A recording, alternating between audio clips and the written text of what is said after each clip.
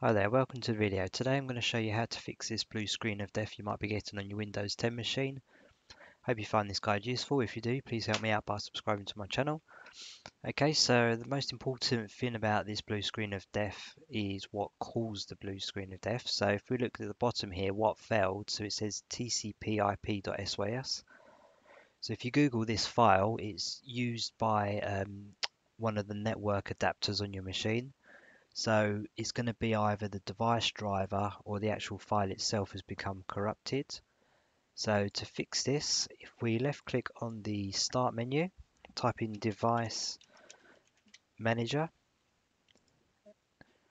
So we're going to address the device driver first.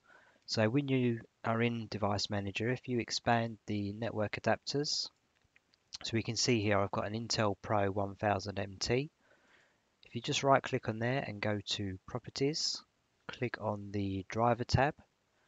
So here, the driver version is 8.4.13.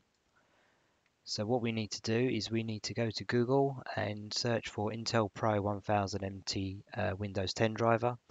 Um, have a look on the internet. If there is a newer driver, download and install it, uh, reboot your machine, and hopefully that will fix the issues.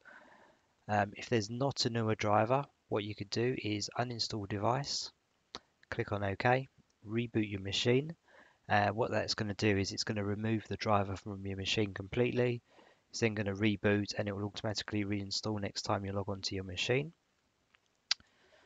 And if that doesn't sort it out, it's going to be that the file itself has become corrupted. So what we need to do is, if you click on the Start menu again, again, sorry, type in CMD, Right click on the command prompt and go to Run as Administrator. If you get this prompt, just uh, select Yes.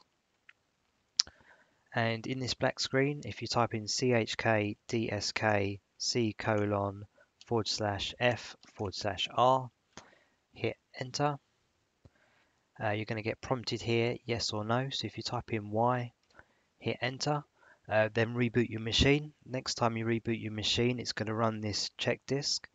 It's going to find um, automatically find and fix any corrupt files that are on your system. Uh, so just let this run and complete. It typically takes between 10 minutes or one hour to complete. Uh, as soon as it has finished um, scanning, it's going to boot directly into Windows again.